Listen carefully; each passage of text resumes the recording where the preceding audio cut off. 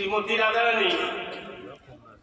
ভালো করে কুঞ্জখানা সাজিয়ে বসে আছেন প্রাণ গোবিন্দ আসবে বলে। প্রাণ গোবিন্দ শ্রীকৃষ্ণ আসবে বলে আমার রাধারানী ভালো করে সাজিয়েছেন। কিন্তু গোবিন্দ আসতে পারেননি কারণ চন্দ্রাবলীর কুঞ্জে চন্দ্রাবলীর কুঞ্জে আটকে পড়েছে জয় রাধে। আসতে আর আমার রাধারানী ভ্রমণকে বললেন ভ্রমণে কাল দুনিয়া ওটা দিল ভরে করব। আমার গোবিন্দকে দেখো দেখবি সেখান যাও ভ্রমণ ভরিয়া